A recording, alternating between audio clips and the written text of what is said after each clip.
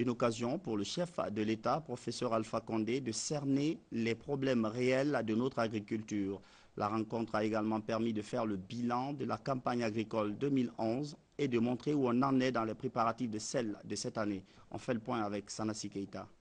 Ces paysans regroupés en organisation pour une deuxième journée de concertation avec le président de la République sur son invitation.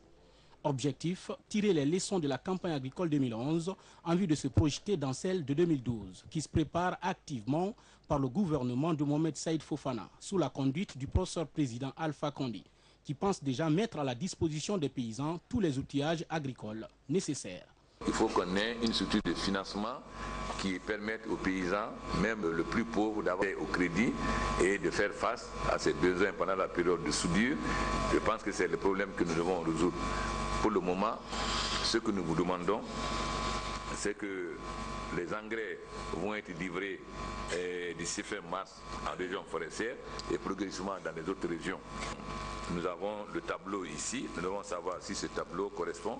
Aussi, de nouveau, les cadres doivent rapidement retourner dans les préfectures pour qu'on ne connaisse pas la situation dernière où on donnait 5 tonnes, 5 tonnes là où il fallait donner 10 tonnes et 10 tonnes là où on pouvait donner 5 tonnes.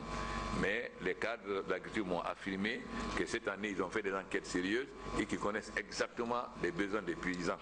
D'après ce donc, en partant de là, nous pouvons voir les entrants et les herbicides. Engrais, nous avons déjà le contrat avec Touguna de l'année dernière que nous avons décidé de reconduire pour le NPK et l'urée. Nous allons, Touguna va nous le fournir. Pour les herbicides, nous allons lancer un appel d'offres et nous ne voulons plus de tricherie comme l'année dernière et nous allons veiller à ce que le prix soit réellement le prix pour que ces herbicides aussi arrivent à temps euh, en forêt avant fin mars et aussi dans, dans, les autres régions puisque actuellement on connaît à peu près le nombre de litres dont on a besoin et les différentes qualités. Maintenant, nous attendons donc de recevoir les informations sur les tracteurs universels pour voir les pièces existantes ou les pièces que nous devons demander aux fabricants, aux, à ceux qui vendent ces pièces-là de, de, commander. Pour les semences concernant les cultures maraîchères, nous allons rapidement, par notre ambassade en France, contacter les autorités israéliennes pour voir à quel prix nous le fournissent et on compare au prix que nous proposent ceux qui sont sur place. Et si ces prix sont raisonnables sur place, on les met tous à la disposition des Nous avons maintenant aussi le projet coton, mais ça c'est autre chose puisque nous allons nous créer une société mixte avec Géocoton et c'est une société mixte qui va gérer euh, la politique cotonnière du pays et nous avons l'intention de faire 20 000 hectares euh, cette année.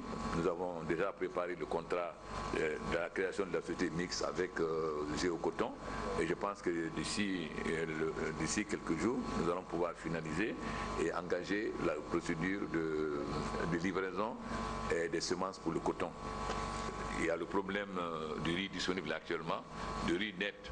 Il faut qu'on connaisse la quantité et que le ministre des Finances mette l'argent à la direction des préfectures pour acheter ce riz net.